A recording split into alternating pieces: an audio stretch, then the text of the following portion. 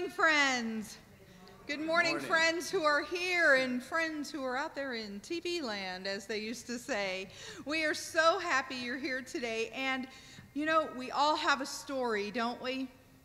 But you know what? It's the same story because Jesus is mine. Okay, he's yours too, but he's mine too. Will you stand and sing with me? It's hymn number 367.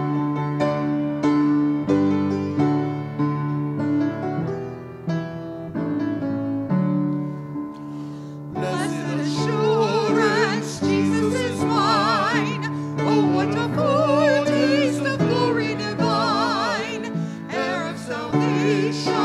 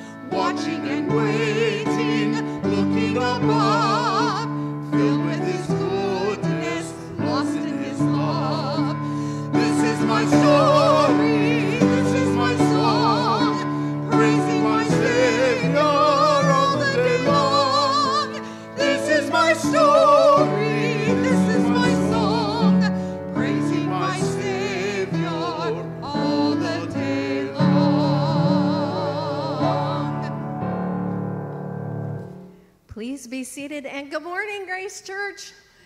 So good to see everyone. Um, I want to just give you a little bit of an update. I was in Ohio last week to visit my kids. I think I have a picture up here. It's dark, but I want you to notice that both of their left legs are in bandages. They both had surgery. So I was up there uh, nursing them along. They're both doing well, and I thank you for your prayers. Um, I thank you for your prayers for me, quite frankly. they worked me so hard. Also, um, after I left Ohio, I was able to meet Neil up in North Carolina. We did about five days of hiking. We averaged five miles a day. So I hope I have the energy to stand up here today. I know I'll get through the 8:30 service. I have a few announcements for you this morning. One is we're really excited about this movie night that we have coming up, and we want to make sure that you grab the announcements for it as you go out today and give them to your neighbors. What we want to try to do is, is gather our community together in a, in, a, in a safe way and in a celebratory way. I have had enough of not being able to get together, haven't you? So we want to be able to provide a free opportunity for families to go out and have some fun. We're going to be showing the Trolls World Tour. Woo! All right, so um, now's the time for you to pick up your OCC boxes. This is this terrific ministry that sends these boxes full of toys, but most importantly, the love of Jesus all over the globe. Now's the time to, to uh, pick them up and fill them up and bring them back. All right, so um, I want to uh, uh, ask you this is going to probably be embarrassing, Julian, but I want to ask you how many of you opened the email that we send you? I did get one. Oh, not so bad. All right. So, if you're not getting our email, please let us know on your Let's Connect card because you know we don't have worship folders anymore, and the email is how you know what is going on around here. If you don't get this email, you're going to miss when the new classes start, when new ministry is happening, what's happening. And, and it's important to know what's happening around here. So I just want to encourage you, as you fill out your Let's Connect card, to please let us know your email address and write it really, really succinctly if you would. That would be terrific. I think that's everything. Beverly, you have a call to worship for us, I believe. Yes. There it is. Let's invite Jesus into our worship. Come, friends, gather around the light of Christ. For it is dark outside, and we cannot see our way without him. Gather around the light as we sit at the feet of Jesus, our teacher. Who comes to us with pleasant words that heal us and difficult words that help us. We gather around the light to see where we are going and to see who we are. Thank you, God, for the light that shines in the dim places of our hearts. So we've come to the time in the service where we worship God in a different way. We're not singing, we will be later, but we are blessing others through what God has blessed us with. So it's time for our tithes and offerings, and you know, you can do that by dropping off a check, you can do it by um, sending a check, you can text to give, or you can go on the website.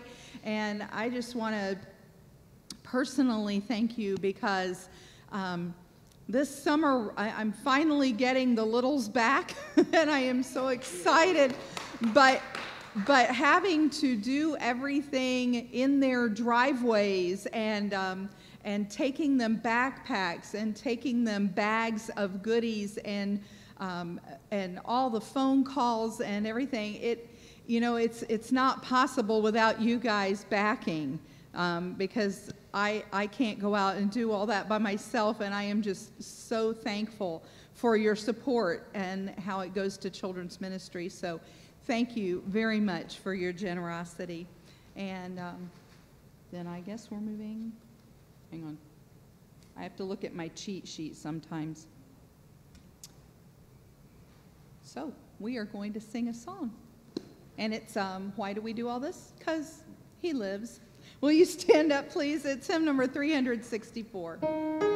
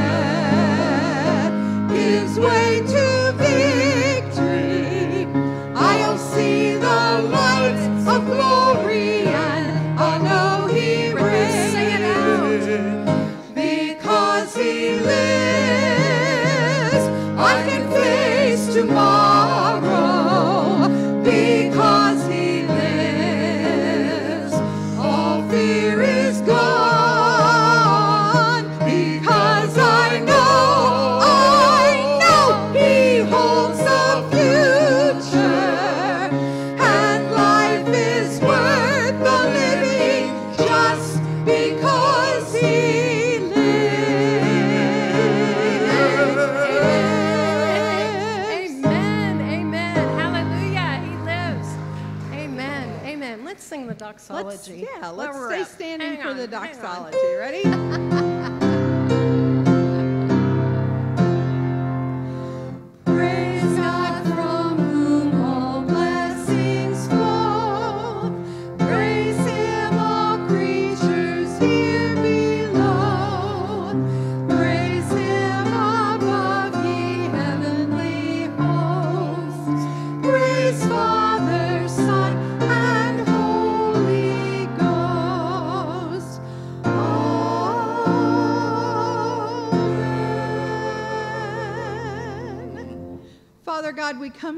today so grateful. Grateful that you have blessed us in ways that we don't even see. Uh, thank you for blessing us and giving us what we need. And not only what we need, Lord, but you've given us enough to share too. And for that, we are eternally grateful. Please be with us, guard us, guide us, forgive us when we miss opportunities, forgive us when we take opportunities we shouldn't take. And Lord, just help us in everything we do, everything we say, to, and everything we think, even to make you the center of it all. Lord, we thank you for the words that you taught your disciples while they were here on earth. Our Father, who art in heaven, hallowed be thy name. Thy kingdom come, thy will be done on earth as it is in heaven. Give us this day our daily bread, and forgive us our trespasses, as we forgive those who trespass against us. And lead us not into temptation but deliver us from evil. For thine is the kingdom, and the power, and the glory forever. Amen. Please be seated.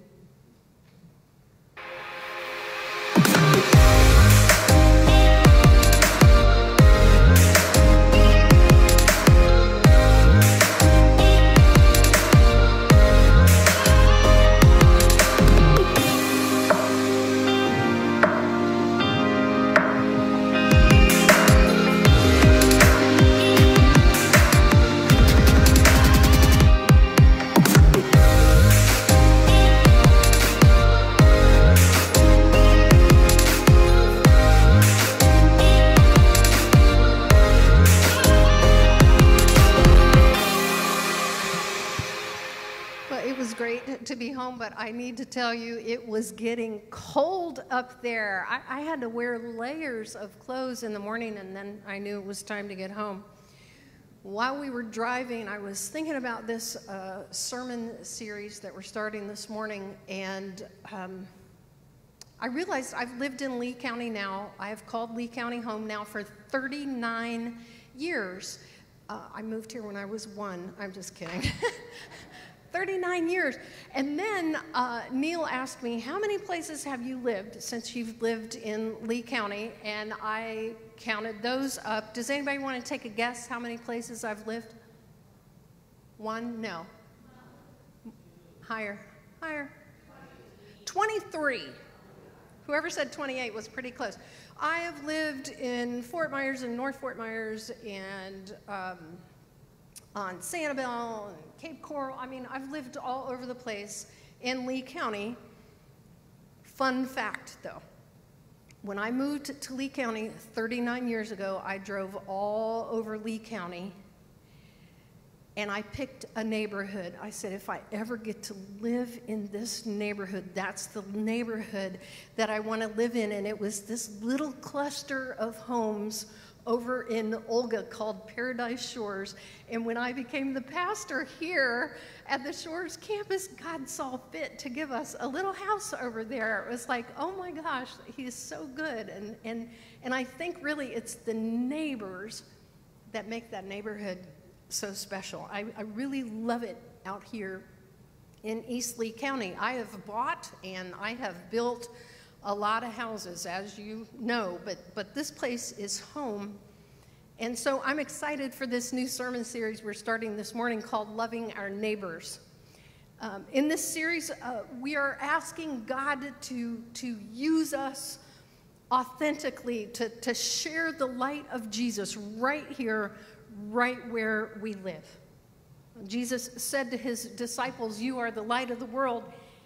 And He wants us to shine the light of hope and gratitude and generosity and forgiveness and grace and, and mercy and peace in Alva, in Olga, in Lehigh, in LaBelle, in Fort Myers Shores, in Morse Shores, in Buckingham and beyond, wherever you are online, wherever you're watching, wherever you live, wherever you work, wherever you play, we are called to share the love of Jesus. And if you've ever wondered what God's will is for your life, a lot of people come to me as a pastor and say, What does God want me to do? Well, I can tell you.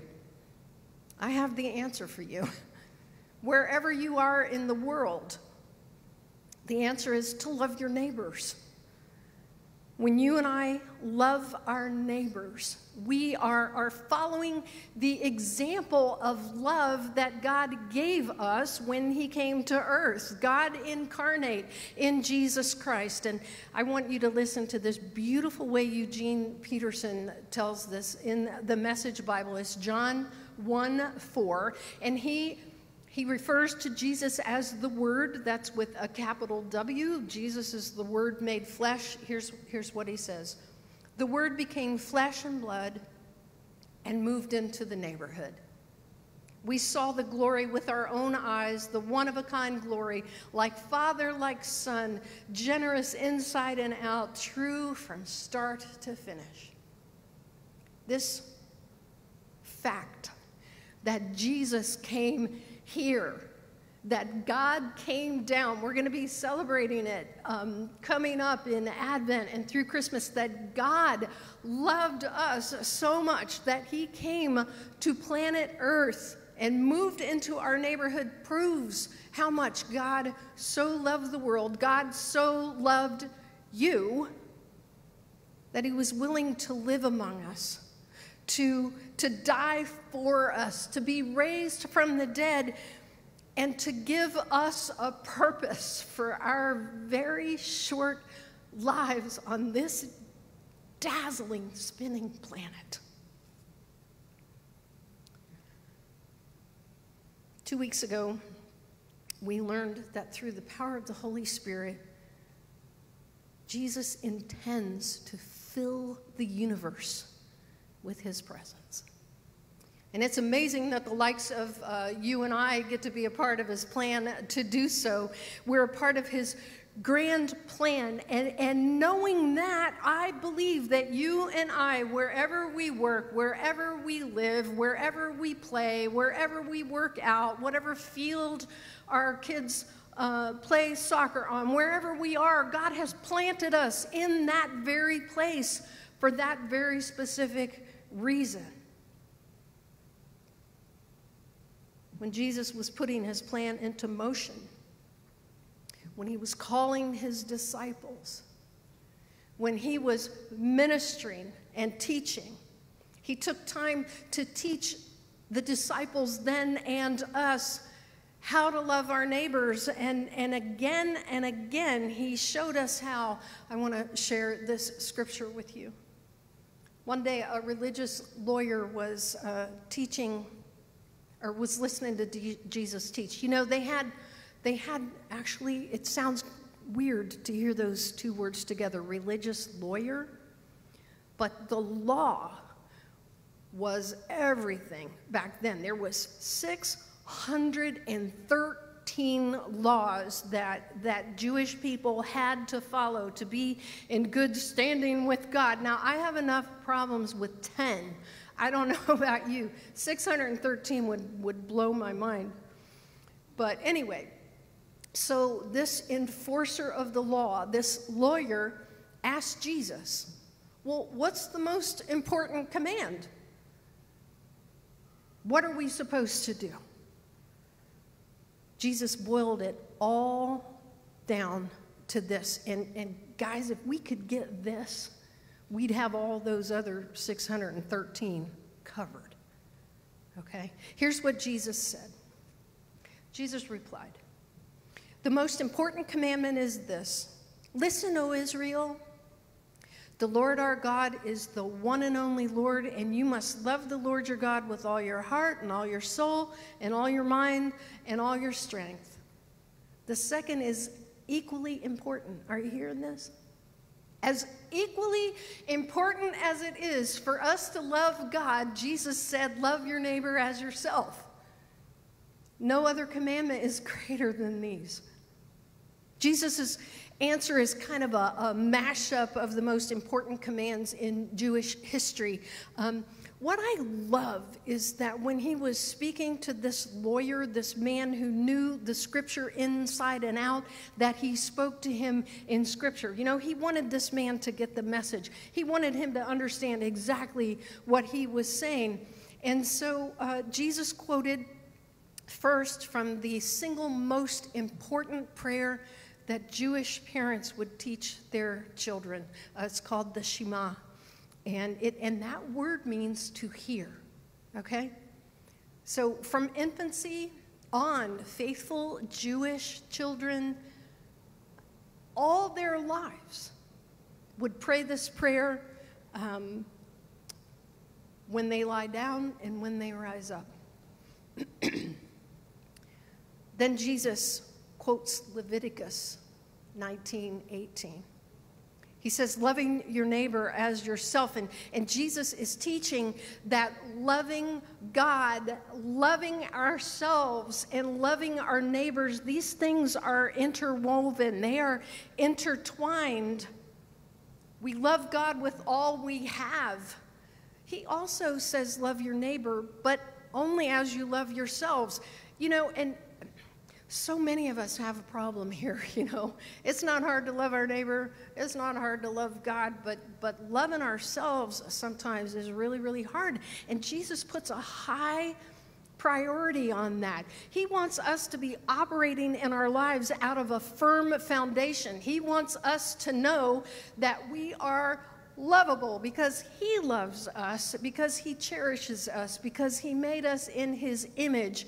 And we need to stop listening to the world and we need to stop listening to the enemy and we need to start listening to God and love God, love ourselves, and love our neighbors. And this isn't narcissistic or, or selfish. What it is, is letting the love of God so fill our lives that it overflows and it splashes out on people. We just can't help it. We're so full of love. Now, Beverly, I want you to forgive me for my grammar here. You know, we talk about loving our neighbors, but you can't give what you ain't got. So, so I want us for the next several weeks to look to the Lord for several reasons. One is so that we can experience the love of God. If you have never experienced the love of God, I, I, I just want to talk to you. I want to have coffee. I want to assure you of His love and, and, and allow the Holy Spirit to, to speak to you, to reveal this incredible and tender love that God has for you. I also want us to look to the Lord to experience His wisdom and His power and His patience and His strength. And all of us be so filled with that that that's what splashes out with the people that we meet when we're walking down the street, the people that we meet each day. Could be someone in the office, it could be someone on a bus, it it's the people we con, uh, are in contact with uh, in our regular life, and, and it might be the Amazon driver you are seeing way too much of lately, or the person who delivers your groceries or grooms your dog. There are people around us everywhere, everywhere who need love.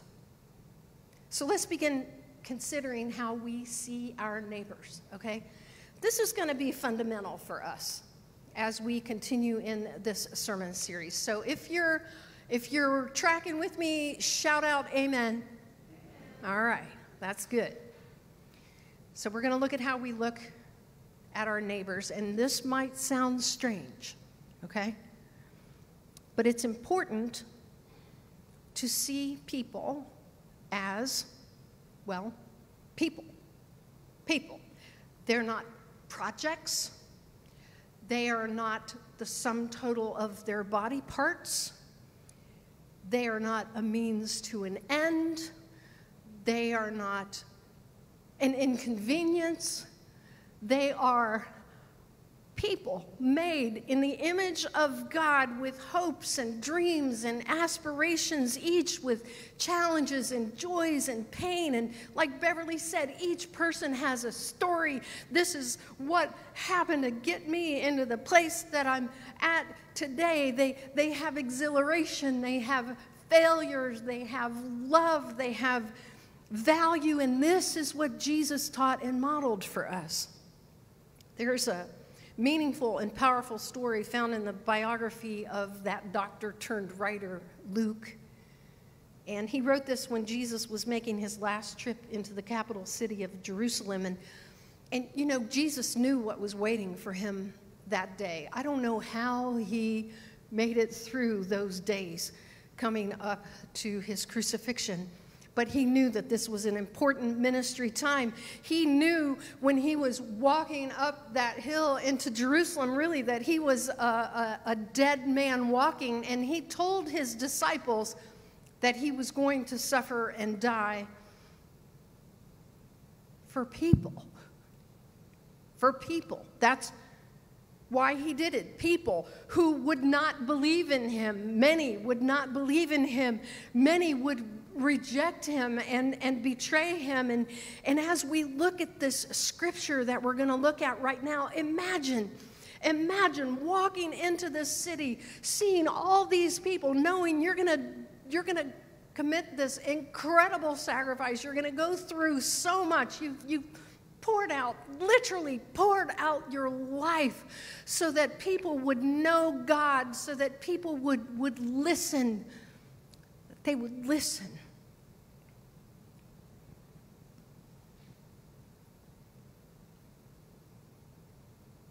Here's what happened Jesus came closer to Jerusalem, saw the city, and he began to weep. How I wish today that you of all people would understand the way to peace, but now it's too late and peace is hidden from your eyes. Before long, your enemies will build ramparts against your walls and encircle you and close in on you from every side. They will crush you to the ground and your children with you. Your enemies will not leave a single stone in place because you did not recognize it when God visited you. He's saying, I am He. I'm the one you waited for all this time. I'm the Messiah. I'm the one who loves you. I've taught you. You haven't heard. I can't I can't stand what's next for you. I can't stand it. And there's a lot here that needs to be unpacked. And when the teaching team met and, and studied this passage together, we believe this account of Jesus teaches us that when we begin to love our neighbors, that we don't just look, we see. Don't just look, see. You can probably agree with me that there is a great big difference between looking and seeing. Ask any spouse. Notice I didn't say husband or wife. Ask any spouse when their beloved looks for the coffee creamer or the toothpaste or virtually anything because it's always where? Right in front of your face, right? Ask any parent who has prominently placed a clothes hamper in the right in the middle of their child's room, and you know what happens? It gets thrown all over the floor. Oh, I didn't see it. To look means to turn one's eye towards something, but to see means to, to turn our attention towards something. There's a huge difference there. To see is far more involved. And, and we look at a lot of people and a lot of places and a, a lot of things throughout the day. We think little or, or nothing of it, but when we see, we give someone or something our attention. When we, when we see, we engage, we, we notice, and we might even begin to care. Uh, Henry David Thoreau said, It's not what you look at that matters, it's what you see. So when it comes to loving our neighbors, we must see them. This is what Luke is careful to point out in the story that we just read. See, throughout his ministry, Jesus saw people. Look again at Luke 19 41, and it describes Jesus' approach to the city of Jerusalem. But as Jesus came closer to Jerusalem, he saw the city ahead. To Jesus, Jerusalem was not buildings. it was people. Just like this church is not this building, this church is you and I. If this building was destroyed, if it was wiped off the planet, would our church still be together? Yes, of course. It's us. It's the people that make the church. It was the people that made Jerusalem. It was the people that made up the city, and Jesus fully saw them. And in seeing them, he fully loved them. I have a light show going on up here. What's happening up here? Is it gone wild and wonky? All right, so what I was thinking is that they were doing that to make sure you were paying attention or to illustrate a point. Show the light, be the light. Okay, I can quit now. oh! All right. Hey, Julian, shut him down. Will you do me a favor and shut him down? Thank you. we prayed this morning for our technology. Somebody had their fingers crossed. I'm not sure who, but all right. I'm going to say this Jerusalem was not buildings. Jesus fully saw the people. He saw followers, he saw people who loved him, he saw people who hated him, he saw people who wanted to kill him, and you know what? He loved every single one of them the good, the bad, and the ugly. So I want to say again don't just look, see. Now, before we talk too much about them, um, I want to talk about us for a moment because I think we may all have things that keep us from seeing. And, and it's not malicious things. Um, I, I'm going to confess my thing that keeps me from seeing. Um, that is, is that I feel like I'm always running, always running from one thing to the next, and seeing requires me to slow down. It requires also a humility on my part to accept people exactly where they are. To see means that we have the inner peace to see people as people and not fixer uppers, not opponents that we need to debate, not people that we need to judge and hope to God they see the light. People people are not for you and I to label and tinker with. In the political climate that we're in, I think it needs to be said that we don't have to agree with our neighbors to love them. Hallelujah. A young person told me this week that she has unfriended everybody on her social media who is against her pick for president, and that just makes me sad. I'm grateful that Jesus would not look at our social media, he would not look at our bumper stickers, he would not look at our. Um, our flags that were flying in our yard, he wouldn't look at any of that and then decide whether he wants to love us. To love our neighbors today means that God may be asking us to cross the street or cross the aisle or cross the political divide so that we can love people like Jesus loves. And that kind of love would revolutionize our neighborhoods. And, and that's the kind of love that I want, um, that I want to have for other people. Um, but I've noticed something lately about myself that God wants to mature in me, and that is to stop being in such a rush and such a hurry that I have no idea what's going on around me. Do you know what I'm talking about when I say that? Yeah. God's pointing out to me that I need to slow down because this news flash hit me this week. Jesus did not go to the cross and die for a to do list or a bunch of tasks. He did it for people. People were the most important thing to him. Someone reminded me This week, there's two words you never hear said about Jesus. It's nowhere in the Bible. Those two words are Jesus ran. I don't think it says he rushed either. So I want to push into this idea of seeing a little bit more. Um, what it means is that when we see people, we're going to see beauty, and we're also going to see brokenness. They kind of go hand in hand, don't they? Now, I, uh, I know it depends upon the person, but a good question to ask ourselves is when we have an interaction with a person, maybe somebody we don't know or somebody we do know, um, are we generally open or, or guarded? Um, you feel like you can figure people out pretty quickly. Oh, I, I, I know his story. Now, I have to keep learning the same lesson over and over again. Don't just look, see. Um, here's a for instance. I, I was trying to help a lady.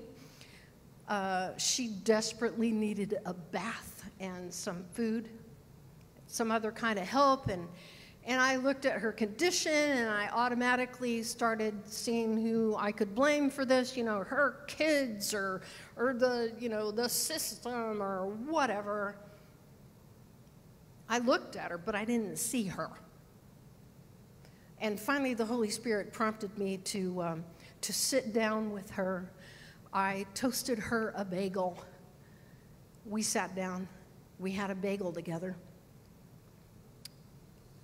Turns out she and her husband were both psychologists up north who had worked together uh, for their lives and they had prepared to save for the future. But when the economy crashed, um, their finances crashed like many others. And, and they tried and tried to keep the practice alive and they tried to cut costs. And, and in doing so, they let go of their health insurance, thinking it was going to be just for a little bit, just for a little bit. But he became ill, he became terminally ill their life savings were quick, quickly eaten up, and, and he ended up dying. And this poor lady, she had a psychotic break with reality and somehow landed down in Fort Myers and, and now needed the care that she used to give others. Now, one of the best things about Jesus is that he could see people for who they are, and, and he would have he would have seen her beauty in her brokenness. I, I had to sit down and really take time to see the beauty in her brokenness. So Jesus could see a wounded soul in a crowd of thousands. Jesus saw both the beauty of people made in the image of God and, and people marred by, by sin and, and sickness, and he loved them anyway. And when I slowed down long enough to see her, really see her, I began to love her. My motivation for helping her was really, really different. And Jesus can help you and I see when all we see is the brokenness, He can help us see the beauty in people. And we're all a mixture of both, aren't we? I mean, we're a mixture of faith and fear. We're we're a mixture of majesty and hot mess.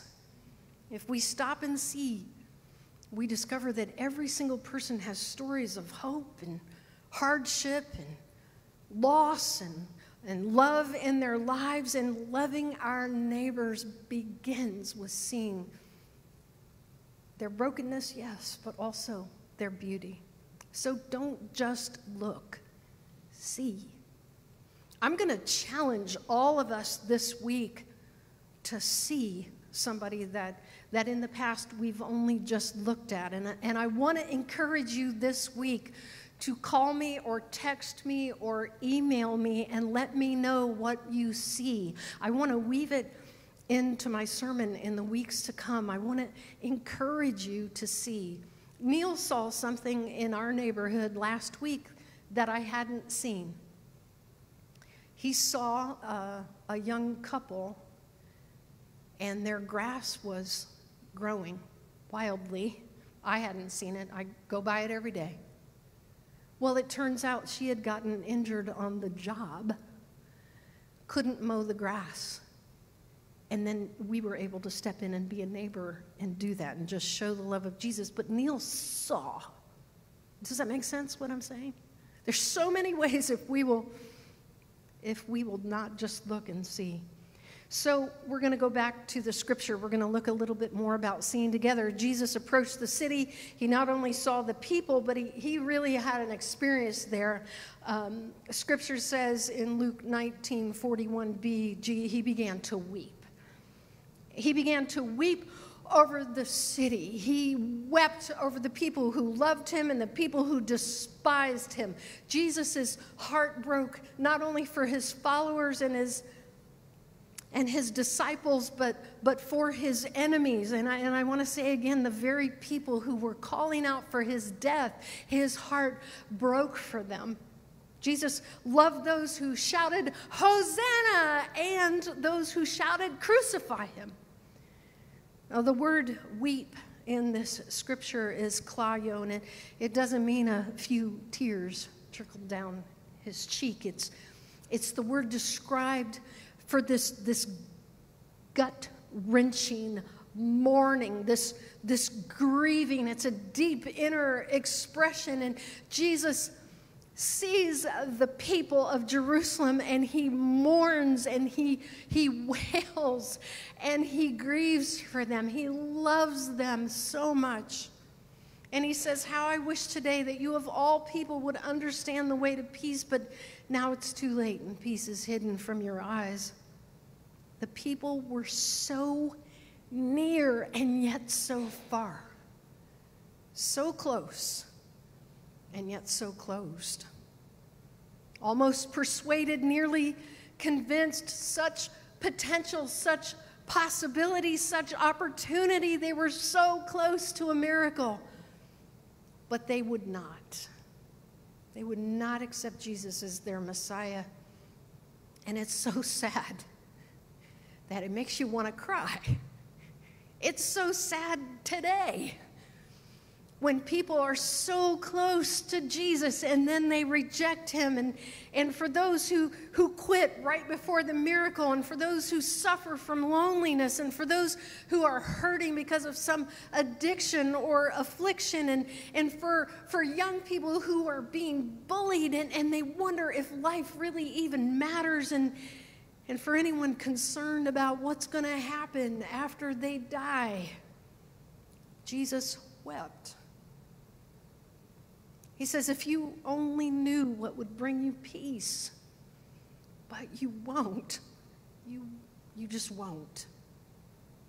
I pray today that, that you see that Jesus will give you the miracle that you need. He will give you the friendship you long for, the recovery that you are literally dying for, the value you've never realized, the security that you've always wanted. And guess what, friends? For our neighbors, do you know the delivery system for that? For that healing, for that love, for that mercy, for that grace? That's right. That delivery system is you and me as we go out into our neighborhoods and love our neighbors. It's us. It's God's people living out our faith, loving our neighbors one day at a time. The stakes are so high. They're so high. Now, it's not politically correct to say this, but we're all going to spend eternity somewhere. And it's going to be with God or without Him. And when Jesus wept, it's because of the people then and people now who refuse to believe in him, who refuse to walk in the way, the truth, and the life. He came to seek and save the lost, and He's given us an assignment to partner with Him to see people through the eyes of love, to see their brokenness and their beauty, and to care enough to point them to the way, the truth, and the life. Julian, if you want to come up. And Beverly, I want to say, in these complex times, in these complex times, could it be so simple that for our world to be a better place, that we would just start in our own backyards. That we would love our neighbors. That we don't just look, that we see. I do want to tell you that um, the lady that I ministered to, uh, I was able to, to reach her children up north and, and get her home and get her the care she needed. But there's hundreds of more people just like her in Lee County who need our help. The person in the pew beside you may need to be seen. Friends, this week, this week, would you please don't just look? Would you see and then let me know what you see? And let's get together and love our neighbors in the name of Jesus. Amen. Amen. All right, please stand. We have time just for one verse of our closing song. If Julian and Beverly are going to lead Well, us. what a song and what Yeah, a friend. This is a good one.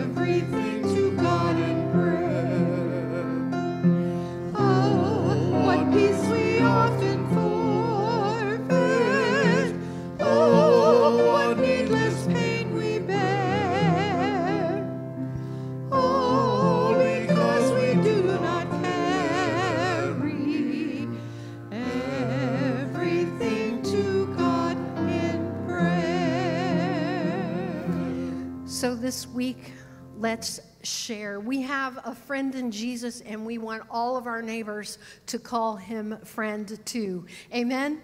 Amen. Go and go with God to love and serve him.